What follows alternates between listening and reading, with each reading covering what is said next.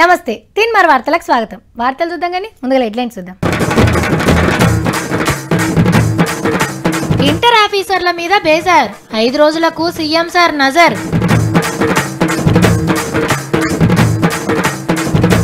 Party పదవికి సర్కార్ కాగితం. మంత్రి మల్లన్న గారి మహత్యం.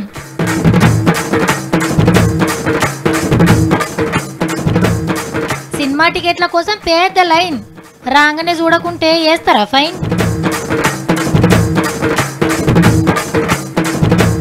అయితే అనుకోలేదట ప్రధానమంత్రి. హీరోతో మోడీ సార్ మాటామంతి బీపీ పెంచుకున్న సత్తిగాడు. అగో నాకు రోగం వస్తుందంటే నీకు నాకు వస్తున్నది. ఇట్లా చేయాలి? ఫండాకు రాలిపోతుంటే ఫసరాకు నాకు నచ్చున్నది. అమ్మా. నాకు బీఫ్ రోగం కూడా ఉన్నదా? పొద్దుగాల పూట నాలుతో చేయకుంటున్నంత గ్లాస్టిక్ ప్రాబ్లం వచ్చి ఐ పెరిగిపోయి గుండె జబ్బులు వస్తున్నాయంట. పొద్దుగల ఆఫీస్కి వస్తా అంటే మా గల్లీలో ఉండే ఒక పిల్లగాడు అక్క అక్క టెన్త్ క్లాస్ రిజల్ట్ ఎప్పుడు అక్క? అని అడిగిండు. వామ్మో! అని గుండె గుబేలమన్నది నాకు. ఓరు దేవుడు అదొకటి ఉన్నది కదా. ఏమో తమ్మి ఇప్పట్లో రిజల్ట్ వచ్చి జరంత డౌటే. చాలా జాగ్రత్తలు తీసుకుంటాడు అటు ఆఫీసర్లు అని చెప్పి వెళ్ళొచ్చిన. అవు మరి ఇంటర్ ఫలితాలలో ఇంకొడవలేదు ఇక టెన్త్ ఫలితాలు వస్తే ఇంకెట్లుంటుందో? రెండు ఆఫీసుల ముంగట డ్యూటీలు చేసుడు పోలీసులకు కూడా కష్టమే కదా మరి.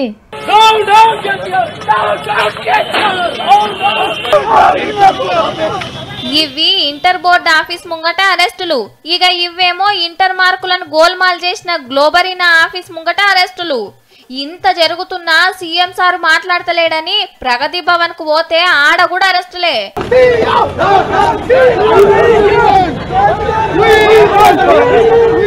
పోరల అమ్మా నాయనలను అయ్యో ఇదేం ఘోరం అని అడిగేతందుకొచ్చిన విద్యార్థి సంఘాలను ఎవ్వరు నిడిచిపెట్టలే.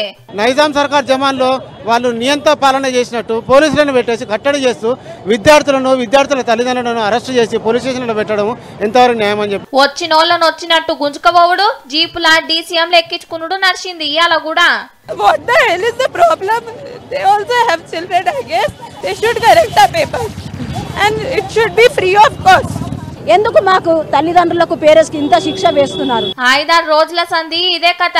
కమిటీ రిపోర్టు వచ్చింది లేదు తప్పులు చేసిన వాళ్ళ పని పట్టింది లేదు. ఇక సోషల్ మీడియాలో మామూలుగా లేదు పో. మీ ఇంటి పోరలైతే ఇట్లనే చేస్తారా? ఎమ్మెల్యేలను గుంజుకునే టైం ఉంటది కానీ పోరలను పట్టించుకోరా అని ఓ రేంజ్లు అడుగుతున్నారు.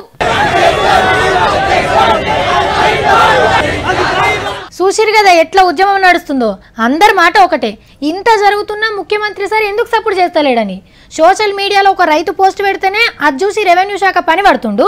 అసొంటిది పిల్లగాండ్ల భవిష్యత్తు కోసం గిన్ రోజుల సంధి లొలి పెడుతుంటే ఎందుకు మాట్లాడతలేడని? చాలా మంది అడిగిన ప్రశ్న ఇదే. ఆలస్యమైన మొత్తానికైతే చేయాల్సిన పని చేసిండు ఇలా ఐదు రోజుల ఉద్యమం తర్వాత ఇంటర్ మార్కుల గోల్మాల్ మీద నజరేసిండు సీఎం సార్.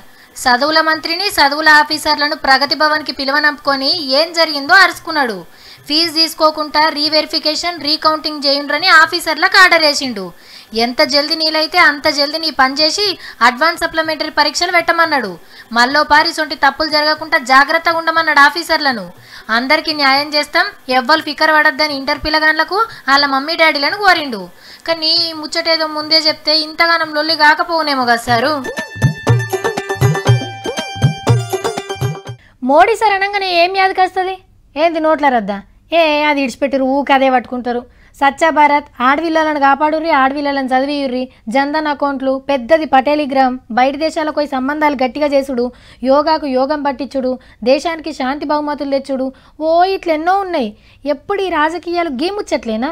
సార్కి ఏది ఇష్టం ఏది కష్టం అని తెలుసుకోవద్దా? అందుకే ఒకళ్ళతోని పురుసాతిగా మాట్లాడిండు. ప్రధానమంత్రి మోడీ సారు హిందీ హీరో అక్షయ్ కుమార్ అన్న. వరండాల కూర్చొని హీరో ప్రశ్నలు అడుగుడు మోడీ సారు జవాబులు చెప్పుడు నడిచింది. మోడీ సారు సన్యాసి కావాలి అనుకుండట. అటెన్క ఆర్మీలో షరీక్ కావాలి అనుకుండట. కానీ ప్రధానమంత్రి అయితా అని ఎన్నడనుకోలేదట పనిలో బిజీగుండి అమ్మని పట్టించుకునే టైం కూడా దొరుకుతలేదని బాధపడ్డాడు. ఏ ఊకే ఈయన్నే ఏం కూర్చుంటాం అని బయటకు వచ్చిండ్రు కింద మీద సైడ్లకు మొత్తం కెమెరాలు పెట్టినట్టుర్రు. ఇంటర్వ్యూ షూటింగ్ మస్తు వచ్చింది జరసేపు మైదానంలో తిరిగినాక చౌకీదార్ తోటి చాయ్ పే చర్చ నడిచింది. కాంగ్రెస్ లీడర్ ఆజాద్ సారు మంచి దోస్తట మోడీ సార్కు. ఇక బెంగాల్ మమతక్క అప్పుడప్పుడు మిఠాయిలు కుర్తాలు పంపిస్తుందట.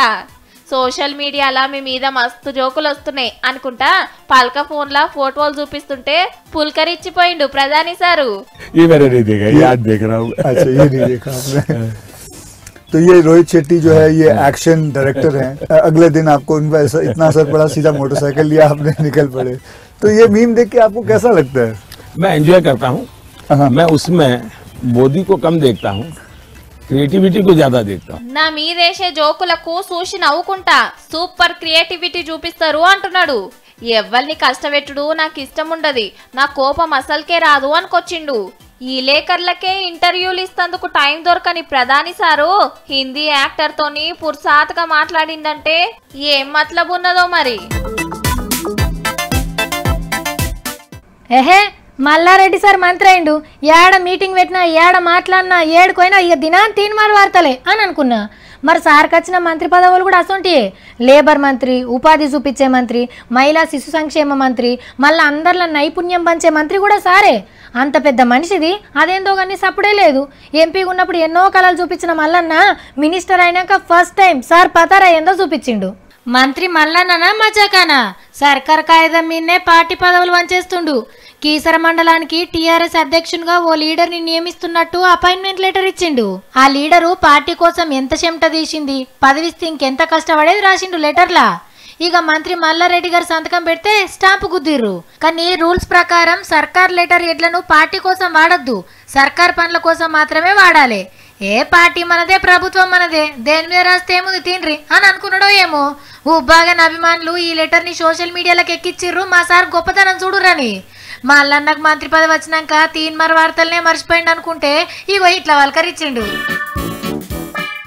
ఏ ఊరి చెరువులు కుంటలు చూసినా క్రికెట్ ఆడే మైదానాలు లెక్కనే అయినాయి. సుక్క సుక్క నీళ్ళు లేవు. బోర్ల నీళ్ళు కూడా మొత్తం గుంజేసినాయి. తాగే నీళ్ళు దొరకడు కూడా కష్టమే అవుతుంది ఒక్కొక్క ఊర్లో. ఈ ఎండలకి ఏముంటాయి మరి? ఇసొంటి టైంలో ఎన్నడు చూడని నీళ్ళను ఒక్క బారే చూస్తే ఎట్లుంటుంది? ఇక ఇట్లుంటుంది. బుస్సున పాలు వంగినట్టే అనిపిస్తుంది కదా? కాళేశ్వరం ప్రాజెక్టులో ఓ అడుగు ముంగటికి పడ్డది ఇయాల. గోదావరి నీళ్ళని ఎత్తిపోస్తందుకు పెద్ద పెద్ద మోటార్లు పెట్టిరు కదా? నంది మేడారం కాడ కట్టుకొత్తంగానే ఇగో ఇట్లా వంగినాయి నీళ్ళు. ఈడికెళ్ళి లక్ష్మీ పైర్ ఆడికెళ్ళి మిడ్మాన్ ఎరుగు చేరుతాయట. రేపటికెళ్ళి మూడు రోజులు రోజు కోటి చాలు చేస్తారట ఇసోంటియే అనుకున్నట్టే అంత మంచిగా జరిగిందని ఖుషీలు ఉన్నారు ఆఫీసర్లు.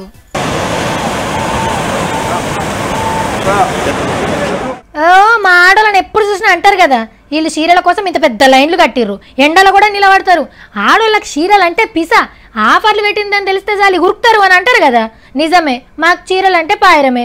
మరి మా తిప్పలు మీరు చూడలేకపోతే ఎవరి భార్యల కాళ్ళే నెలకు రెండు మూడు లేదు లేదు ఒక నాలుగైదు కొనిస్తే ఏమవుతుంది చీరల లైన్లు కడితే మమ్మల్ని ఇంతగానం అంటున్నారు కదా. మరి గిలని చూడురిగా వామ్మో చిన్నగా లేదు కదా లైను? ఎంత పద్ధతిగా నిలబడ్డరో. మొత్తం పడిచిపోరలే. మొదలైతే లైన్ మొత్తం చూసినాక ఎందుకు ఇన్ని కష్టాల్లో చెప్పుకుందాం? రైట్. సినిమా టికెట్ల కోసం చీమల లెక్క లైన్లు కట్టిండ్రు మనోళ్ళంతా. పట్నం ప్రసాద్ ఐమాక్స్ టాకీస్ లా ఓ ఇంగ్లీష్ సినిమాను చూడాలని పొదుగాల పొదుగాలనే ఇంత మందురుకొచ్చిర్రు. ఆన్లైన్లో దొరుకుతలేవో ఏమో మరి. ఈ ఎల్లుండి రిలీజ్ అయ్యే సినిమా కోసం ఇగో ఇవాళ లైన్లు కట్టిండ్రు గీ తీర్లా. బండి మీద పోతున్న ఓ అన్నకు చిత్రం కనిపించి గీ వీడియో తీసి పంపిండు మా ఆఫీస్కు. కానీ మొన్న ఓట్లేసినాడు సెలవిచ్చినా కూడా ఇంట్లోకి వెళ్ళి బయటికే రాలే. సగం మీద కూడా ఓటేయలే. ఎంతైనా నాలుగు ముచ్చట్లు ఎక్కువ తెలిసిన హైదరాబాద్ వాళ్ళు కదా ఇట్లనే ఉంటారు. గోవింద గోవింద సినిమాల కొందరు బద్మాజ్గాళ్ళు ఏడుకొండల ఎంకన్న కిరీటానికి సూటి పెడతారు. బయట దేశాలల్లా దేవుని విగ్రహానికి మస్తు డిమాండ్ ఉంటుంది. కానీ తిరుపతి కొండ మీద కిరీటం కొట్టేసుడు అంటే అయ్యే పనేనా? అయినా సరే కొట్టేస్తారు దొంగ భక్తులు. అంతా డైరెక్టర్ రామ్ గోపాల్ వర్మ గారి దిమాగ్ నుంచి వచ్చిన మా గొప్ప ఐడియాలు. ఈ సినిమా సీన్లను నిజం చేసేందుకు మస్తు కష్టపడ్డాడు ఓ దొంగన్న. కాకుంటే తిరుపతి కొండ మీద కాదు కొండ కింద. తిరుపతి గోవిందరాజస్వామి గుడిలా దేవుని కిరీటాలు కొట్టేసిన దొంగను పట్టుకున్నారు పోలీసోళ్ళు. చూస్తుంటే లేత దొంగ లెక్క అనిపిస్తున్నాడు కదా. కానీ మూతి మీద మీసాలు రాకముందే డ్యూటీ ఎక్కిన సీనియర్ దొంగ. పేరు ఆకాష్ ప్రతాప్. మహారాష్ట్రలో ఉంటాడు. చిన్నప్పుడే దొంగతనాలు చేసి జైలుకు పోయి వచ్చిండు. అయితే ఫిబ్రవరి ఫస్ట్ నాడు తిరుపతి పోయిండు దేవుని దర్శనానికి. ఏ ఉత్తగా దర్శనం చేసుకుంటే ఏమున్నది అనుకున్నాడేమో. గోవిందరాజస్వామి కిరీటాల మీద పడ్డది అయ్యగారి కన్ను. ఎవ్వలేని టైం చూసి అల్కగా మూడు కిరీటాలు ఎక్కబోయిండు ఎప్పుడు పోలీసు వాళ్ళ సెక్యూరిటీ చుట్టూ సీసీ కెమెరాలున్నా కూడా ఇంత తెలివిగా దోషిండంటే చూడుండ్రిగా. డైరెక్ట్గా అమ్మితే ఎవ్వరు కొనరని కిరీటాలు కరిగిచ్చి ఇట్లా ముద్ద చేసిండు. మొత్తం వెయ్యి మూడు వందల యాభై ఒక్క గ్రాముల బంగారం నలభై రెండు లక్షల మాలు. మహారాష్ట్రాల కుద్రక మద్రాసులో అమ్మబోతుంటే పోలీసోళ్ళకు మట్లా వంది రేణిగుంట దగ్గర పట్టుకున్నారు. ఎనభై రోజులు నలభై మంది పోలీసోళ్ళు తిప్పలు పడితే ఆఖరికి దొరికిండు ముదురు దొంగగాడు. ఈగనన్న గుడ ఆఫీసర్లు సెక్యూరిటోళ్ళు డ్యూటీల లాపర్వా చేయకుండా జాగ్రత్తగా పెడితే మంచిది. పబ్లిక్ని మోసం చేసుడు కూడా ఒక కళ నేనుల్లా. అది అందరికీ రాదు కూడా. మందినెత్తులు కొట్టాలంటే దొంగ తెలివితేటలు చాలా తెలిసి ఉండాలి. ఎన్నో ఇకమతులు నేర్వాలి. నమ్మిస్తందుకు కమ్మగా తీయగా మాట్లాడాలి. మనం చెప్పేది అబద్ధం అని ఎదుటోనికి అసలుకే డౌట్ రావద్దు. మాటలతోనే ఐసేయాలి అప్పుడే అవతలోడు మన బుట్టల పడతాడు. అబ్బా సావిత్రికి మోసం చేసే టెక్నిక్లు బాగానే తెలుసున్నట్టున్నాయి కదా అని అనుకునేరు. జరిగేటి చెప్తున్నా అంతే. పట్నంలా కిరాయి కార్ల దందా నడిపించిండు గీ మోతెవరి. పేరు Srikanth Chari CM camp office లా మీ కార్లు పెట్టిస్తా. నెలకు ముప్పై వేల కిరాయి ఇప్పిస్తా అని కార్ల ఓనర్లకు సూటి పెట్టిండు. నమ్మిస్తందుకు నెల కిరాయి అడ్వాన్స్కి ఇస్తాడు. ఇక వచ్చిన బండ్లు తీసుకుపోయి గీ సింగ్ తాన తాకట్టు పెట్టి లక్షల రూపాయలు లోన్లు తెచ్చుకొని జల్సా చేస్తాడు. తాకట్టు పెట్టుకున్న బండ్లను ఈ సింగ్ సాబు బయట కిరాయికి తిప్పుకుంటాడు. ఇద్దరు కలిసి మంచిగా నడిపిస్తున్నాడు దందా. అయితే ఓనర్లకు టైంకు రెంట్ కట్టక బండ్లు వెనకకు రాకపోయే వరకు పోలీసోళ్ళకు చెప్తే అస్సలు ముచ్చట బయటపడ్డది. కానీ సీఎం ఆఫీస్కు కార్లు పెట్టిస్తా అని చెప్తే ఉత్తగనే ఎట్లా నమ్మిండ్రు అని అంటారా? సీఎం ఆఫీసులో ప్రైవేట్ డ్రైవర్గా అంటే అక్కడ ఉండి మున్పు కొన్ని రోజులు సీఎం ఆఫీస్ లా డ్రైవర్గా చేసిండట. చక్కగా పనిచేస్తలేడని తీసేస్తే హల్కగా పైకం కమాయిస్తందుకు గీ దందా షురూ చేసిండు. మొత్తం ఇరవై మూడు కార్లు నాలుగు లక్షల డెబ్బై వేలు దొరకబట్టిర్రు. ఇక ఈ ముచ్చట చూడుండ్రి. దొంగ ఏటీఎం కార్డులు తయారు చేసి మంద అకౌంట్లకి వెళ్ళి పైకం మాయం చేస్తున్నారు బద్మాష్ గాళ్ళు. ఆన్లైన్ షాపింగ్లా కారెట్ నంబర్లు కొడతాం కదా ఆ సైట్లకు పోయి కారెట్ వివరాలు పిన్ నంబర్లు దొరకబడతారు. అదే అకౌంట్ మీద ఏటీఎం కార్డులు తయారు చేసి పైకం డ్రా చేస్తున్నారు. ఇట్లా మూడు వేల ఐదు వందల మంది అకౌంట్లకి వెళ్ళి మూడు కోట్ల రూపాయలు మాయం చేసిండట. కస్టమర్లు లొల్లి పెట్టే వరకు ఓ బ్యాంకోళ్ళు కేసు పెడితే పది మందిని అరెస్ట్ చేసిండ్రు మొత్తానికైతే. ఎందుకైనా మంచిది. ఆన్లైన్ షాపింగ్ చేసేటోళ్ళు జర పైలం. ఇంటర్ బోర్డు కాడికి వెళ్ళి రిపోర్టింగ్ చేయమంటే పోలీసు వాళ్ళు అరెస్ట్ చేస్తారని ఇంట్లోనే పెట్టబెట్టిండు మరి ఇప్పటికన్నా నా బుగులు పోయిందో లేదో ఇంటికి సతిగా! ఇదిగో. థు, కాలి గిన్నెల బతుకు. కాలి బోళ్ళు బొచ్చలు. గిన్నెలు ఎంబడ పట్టుకొని గట్ల బొడ్రాయి లెక్క ఊకున్నావేంద్రా? తిన్నా సరిపోతలేనా? బొడ్రాయినే. అందుకే నాకు ఆచారం గిట్ల గాలిపోయి కూలిపోయింది. నీ గాచారానికి ఏమైందిరా? తింటావు తిరుగుతావు ఏమన్నా అంటే ఉల్టా తిడతావు. ఏమిరా సత్తిగా? సిగ్గుశరం లేదా నీకు? ఆ? ఇంత కూడా ఇగరం లేదు. మీ అక్కతో ఇంకా మాట్లాడుతున్నావు? ఏమైందిరా నీకు? కోపం వస్తే నన్ను తిడతావు. మరి ఇవాళ ఏమైంది? నీకు నువ్వే తిట్టుకుంటున్నావు. నిన్ను తిట్టి తిట్టి తిట్టి నా పండ్లే వదలైపోయినాయి. నా నోరే కాయ కాసిపోయింది కానీ నువ్వు మారుతావా? మారవు. నాకేమన్నా నాస్తం మొంటు పెట్టమంటే పెడతావా? పెట్టవు నువ్వు. నాకు గుండె రోగం వచ్చి సావాలనంత అని ఇట్లా చేస్తున్నావు. అయ్యో రామ రామ అమ్మ గుండె జబ్బేంద్రా? నాస్టకు రోగానికి సంబంధం ఏముంది చెప్పు. నీకు వడ చేసుడొచ్చా అసలు మసాలా దోశ ఎట్లా వేస్తారో ఎరకనా?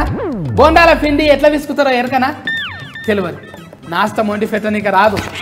మరే నేనేమన్నా హోటల్ పెట్టినారా ఆ రెండు మసాలా దోశ నాలుగు ఇడ్లీ ప్లేట్ అని చెప్పనీకి నీకు. ఏరి వండి పెట్టనీక రాదు. ఒకవేళ వచ్చినా కూడా నాకు వండి పెట్టవు. నన్ను జావని సచ్చినాక బొంద మీద పెట్టు. బజ్జీలు మిర్చీలు మా తమ్మునికి ఫానం ఉంది అంట అని పెడితే పిట్ట ముట్టినాక పోయి లట్ట లట్ట మింగు నువ్వు. వద్దు ఇగో ఇక్కడ బందుకు నొప్పి వస్తూనే ఉన్నది గుండె. అరే అరే ఈ అమ్మ గుండె ఏడం బాచుకుంటుందిరా నువ్వేంటి గుండె నొప్పి అని కుడి బాచుకుని వస్తుందంటున్నావు ఓ వచ్చిందా పెద్ద డాక్టరమ్మా ఎడమ బాదుకుంటుందంట తినేటివన్నీ తిని టైంకు తింటే ఎక్కడ ఉండాల్సినవి అక్కడ ఉంటాయి. నువ్వేం పెట్టకనే పొడి బందుకు జారింది. ఇంకే దాకా పోతుందో ఏమో. రాను రాను నా గుండె మో చేతులకే వస్తుందో? చేతులలోకి వచ్చి గోళంలో జారిపడుతుందో అయ్యో దేవుడా నీ పిస కాకుంటే గుండె సరి గోళంలో పడుతుందారా అగో నాకు రోగం వస్తుందంటే నీకు నాకు వస్తున్నది. ఇట్లా చేయాలి? ఫండాకు రాలిపోతుంటే ఫసరాకు నాకు నచ్చున్నది. అమ్మా. ఓరు వారికి ఎంత కోపం ఎందుకురా అట్లా బీప్ పెంచుకోకురా నీకు దండం పెడతా కానీ నాకు బీఫ్ రోగం కూడా ఉన్నదా? పొద్దుగాల పూట నాలుగు చేయకుంటున్నంత గ్లాస్టిక్ ప్రాబ్లం వచ్చి ఐబీపీ పెరిగిపోయి గుండె జబ్బులు వస్తున్నాయంట. ఓ రామచంద్ర నాకు గిసొంటి లొల్లిలు అన్నీ తెలివైరా మందంతా టిఫిన్లు తినే బతుకుతురా చెప్పు. ఇసొంటి ముచ్చట్లు నీకెందుకు తెలుస్తాయి? తెలివై. అమెరికాలో సర్ఫే చేసినోనికి తెలుస్తాయి. అరే తెలిసినాక నా సత్యానికి ఇంత నాశనం వండి పెడతాము ఆడ ఆరోగ్యంగా ఉంటాడు ఇన్ని ముచ్చట్లు చెప్తాడు నవ్విస్తాడు నలుగురిని అంట చూయలేదు నీకు. పొద్దుగాల నాష్ట చేయకుంటే రోగాలు వస్తాయని అంటున్నావు. మరి నేను కూడా చేస్తలేను కదరా మరి నాకు రావా? నీ ఏంటో నేను వస్తున్నాను. బస్ దిగంగానే ఆడిని తీడి ఇంత నాశనం చేస్తున్నావేమో. ఎవరికెరక అందుకే అందంగా ఆరోగ్యంగా ఉన్నవేమో. నేనేడ తింటారా? అయినా పొద్దుగాల పొట్ట ఉంటే రోగాలు వస్తాయి కావచ్చు కానీ నువ్వు మంచిగానే తింటావు కదా. సద్దన్నంలో ఇంత చింతపులుసు పోసి ఫిస్కి పెడతావాడా ఏందాక చింతపులుసు అంటే? అరే ఎండకాలంలో కడుపు సాపు చల్లగా ఉంటుంది అంటావు. అంతేగాని నాస్తా అయితే పెట్టవు కదా నాకు. అది కాదురా ఊర్లో అంతా టిఫిన్లే తింటారా చెప్పు. పొద్దుగాల ఇంత సద్దన్నంలో తొక్కుకి కేసుకొని మంచిగా తిని కూలి పనికోతారు వాళ్ళందరూ మంచిగా లేరా? ఊళ్ళుంటే నాస్తా చేయకుండా కానీ ఏం కాదేమో. నేను పట్నం వచ్చి పాడైతే కదా. పట్నంలో ఉంటే నాస్తా చేయాలనంట లేకుంటే ఇట్లనే అయిపోతుందిగా నేను. పొద్దుగాల కడుపు మార్చుకుంటే గ్యాస్ట్రిక్. అదే కడుపులో మంట వచ్చే రోగం వస్తుంది. అందుకే పొద్దుగాల ఒకటి ఏదైనా ఒకటి తినాలి. ఒక్క నాస్తనే కాదు. ముచ్చట చెప్పమంటే ఒకే తెల్ల కోట వేసుకొని హాయ్ హలో. నేను మీకు ఏ విధంగా సహాయపడగలను? గోళీలు ఇయ్యగలను? అంటే చెప్పు. డాక్టర్లు లేరంట సర్కార్ దవాఖానలలో ఉమ్, ఏమన్నా నాస్తా ఉండి పెడతావా? లేరా? లేకపోతే ఇవన్నీ చూడు మళ్ళీ. ఎక్కడి అక్కడ తీసి ఎత్తేస్తా. అరే అరే అరే అద్దురా నీ అవ అవన్నీ సొట్టు పోతాయి ఏదో ఒకటి చేసి పెడతా తీ నేను. ఏడు గిన్నెలు అన్నే పెట్టు నువ్వు చప్పటిదాకా నేను చెప్పినట్టు నువ్వు వినది నువ్వు చెప్పినట్టు నేను ఎందుకు వినాలి నేను పెట్టా. ఏరున్నాయి ఆడ అస్సలే పెట్ట నేను. ఒకతాన తీసి ఒకతాన పెడతా ఇల్లు అంతా అంగడి అంగడి చేస్తాను నువ్వు వచ్చి సామాన్ చదువుకు అప్పుడు తెలుస్తుంది ఆకలి వచ్చి ఎట్లుంటుందో నాశనం లేదు గీష్టం లేదు నేను ఎట్లుండాలి? ఒక్కొక్క పారి కోపంలో ఏం చేస్తామో మనకే తెలియదు. ఎటు దోయక గాయ గాయ మొదటికే మోసం తెచ్చుకుంటాం. అయ్యో ఇంత పని అయిపోయే అని వెనకసిరి నెత్తికి చేతులు పెడితే ఏం ఫాయిదా? కూల్గా కూల్గా ఆలోచిస్తే ఏమన్నా ఐడియా దోయచ్చు. కావాలంటే ఈ వార్తను చూడు మీ బ్యాంకులో బాంబు పెట్టినా. ఓపెన్ చేయొద్దు. మూడు బ్యాంకులలో బాంబులు పెట్టినాం. జాగ్రత్త పేల్తాయి. జనాలు చచ్చిపోతారు. రేపు పదమూడు జిల్లాలల్లో బాంబులు పెడుతున్నాం. స్టేట్ బంద్ అని గంట సేపట్ల అన్ని టీవీలలో రావాలి. ఇట్లా మెసేజ్ల బాంబులు వెళ్ళినాయి. బ్యాంక్ ఆఫీసర్ల ఫోన్లల్లా. అంతేకాదుల్లో ఎంపీలు ఎమ్మెల్యేలు ఆఖరికి పోలీస్ ఆఫీసర్లకు కూడా వచ్చినాయి. ఇగేముంది ఎంక్వైరీ చాలు చేసిండ్రు విశాఖపట్నం పోలీసులు. తిరిగి తిరిగి గీ అక్క కాడుకొచ్చింది కేసు. ఏరేటోళ్ళ నెంబర్లకెళ్ళి ఈమెనే బాంబు బెదిరింపులు మెసేజ్లు పెట్టిందట. ఎందుకో తెలుసునా? అక్క మహిళా సంఘాల లీడర్ లోన్ ఇస్తందుకు సతాయిస్తురట బ్యాంక్ ఆఫీసర్లు. ఎన్ని మాట్లాడిగినా పట్టించుకుంటలేరు అనే కోపంతోని బ్యాంకుల బాంబులు పెట్టినాం అని వార్నింగ్ల మెసేజ్లు పెట్టిందన్నట్టు. అక్క చేసిన పని తప్పే కానీ బ్యాంకుల మీద బెజార్కొచ్చి ఏం చేయాలనో తెలియక గిట్ల చేసినట్టుంది పాపం. ఇవి అలాంటి ముచ్చట్లు. ఇంకెన్ని ముచ్చట్లతోనే? నేను మళ్ళా కలుస్తా. నమస్తే.